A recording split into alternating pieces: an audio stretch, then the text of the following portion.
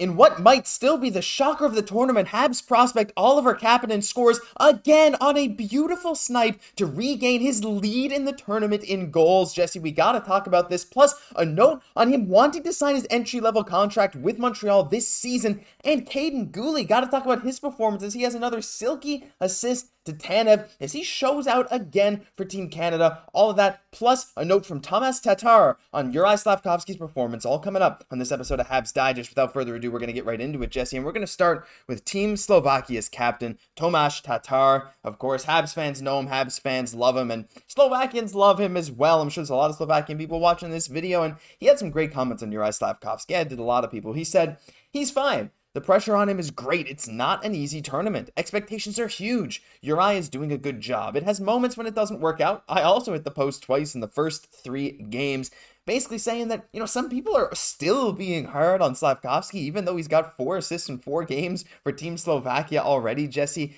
Even though some people maybe want him to score a bit more, show that he's a little bit more dominant, he's he still looked fantastic in our opinion. Like, yeah, maybe, oh, I wish he could do more, but at the same time, it's the World Championships. He's a 20 year old, and I love the praise he's getting from the captain because honestly, he deserves it.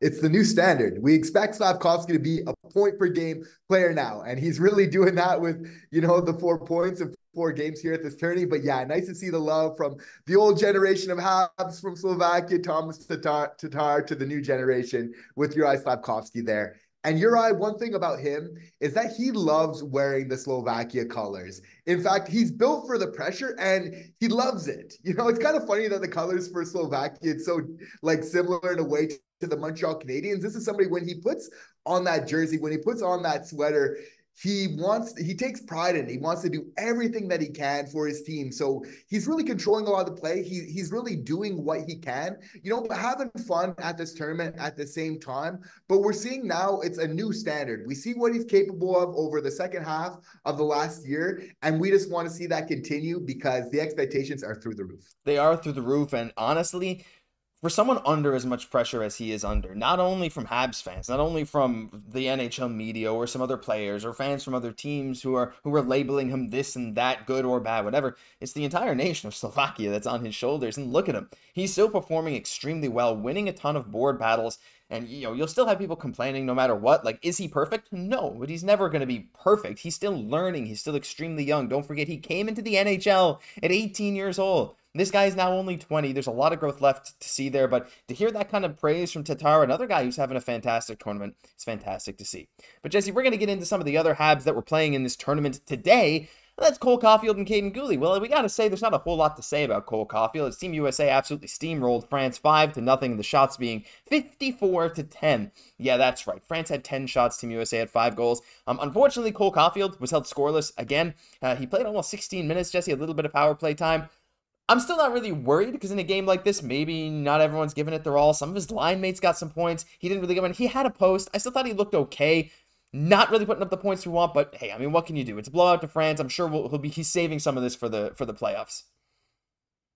But still, after he finished off this season just on a total heater, lighting up the lamp, like you, you want to see that kind of continue. I'm not gonna lie, Josh. Like for this game against France, I was like, okay, I want to see Cole Caufield, not just with an assist, yeah but score the goals because that that's his bread and butter, right? That's what he does, sniping the puck. So we know with Cole Caufield how it works. He just needs to get his volume. He needs to just get more shots on net, keep going, battling in front like he's been doing, showing a lot of good competition, and for sure the goals will follow. Yeah, for sure. Just just a matter of time, hoping. But yeah, you're you're right. Like in a game like this, that many shots, you wish he would have got one, but is what it is. Move on to the next game. But one guy that did play well again today, Jesse, not in that game. It was this game. Team Canada's four to one win over Norway. Um, Norway managed six shots in this game. They didn't have a shot until the third period. Jesse, that's that's uh that's uh uh that's a game. But Kaiden Guhle, hey, he he played really really well against Team Norway today, and we got some highlights for you. He had a great passer to Brandon Tanev there. Look at this little give and go play the Team Canada ran. He was again fourth on the team in minutes, just behind Owen Power, Colton Parayko, and Dame, uh, Damon Severson.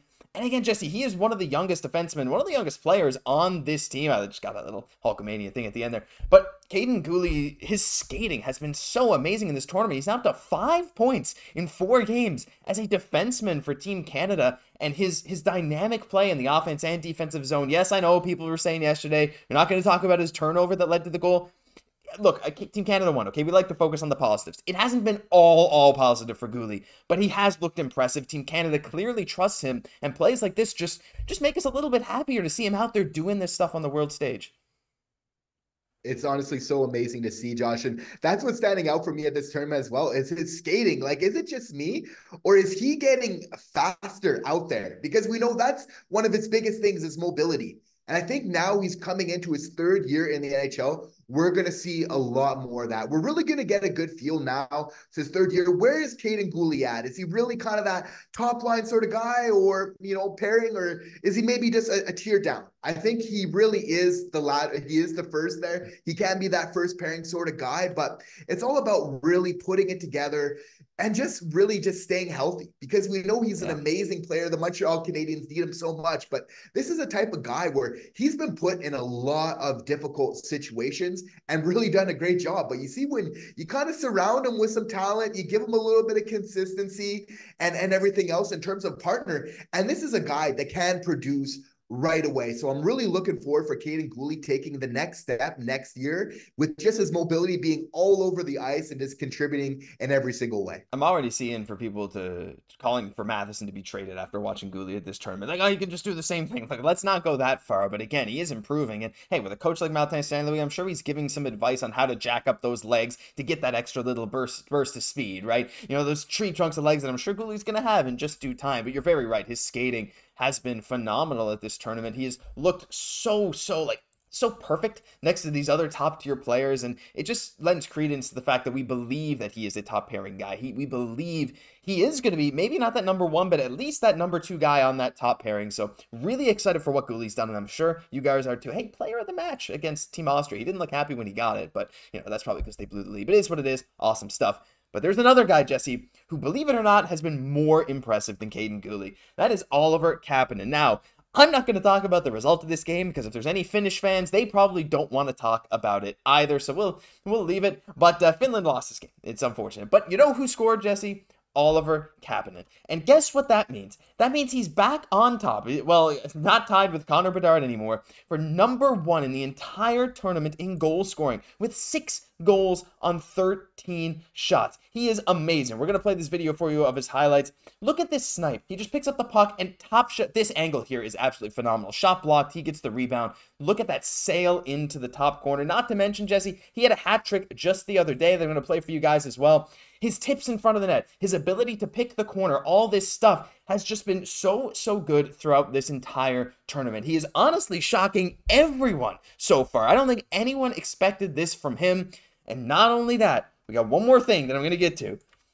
A tweet from Luc Gélinas said that young Oliver Kapanen has been having a fantastic tournament and he would like to come to an agreement with the Habs, but said currently he's focusing on the World Championship. Kent Hughes met with Kapanen's agent in Helsinki at the World Juniors, and uh, yeah, so after this tournament, they might want to talk. Kent said, We are very happy with the progression of Oliver this season. Sounds like an ELC might get signed this summer, Jesse, after this insane performance in this tournament, meaning he could join the Habs as soon as 2025 26 season. This is incredible.